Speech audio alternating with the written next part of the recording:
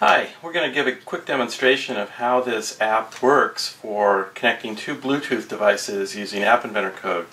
This is the sample app running, just transferred it over using MIT App Companion. And we're going to go ahead and connect to the first device, which is an HC05 Bluetooth controller. And we now say client connected. We'll connect to a second device. I have another one running here, both of which are connected to Arduino boards. We're now connected to two devices. Now what I'm going to do is I'm just going to have it do a particular command, if I send it a 1, it's going to respond by sending us back some data. Now it's hard to see, but it actually sent back a, couple of bytes of data with a parameter value of 2. And I'll do that for the other device as well. So there we have both are running.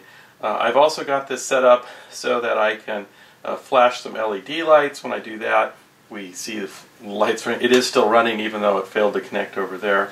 Uh, we will do it here as well. And we'll show you what that looks like. So right here we can take a look and see that we are flashing LEDs connected to the Arduino boards and we're sending a command to these boards over Bluetooth from the Android App Inventor telling it to do the flashing of those LEDs.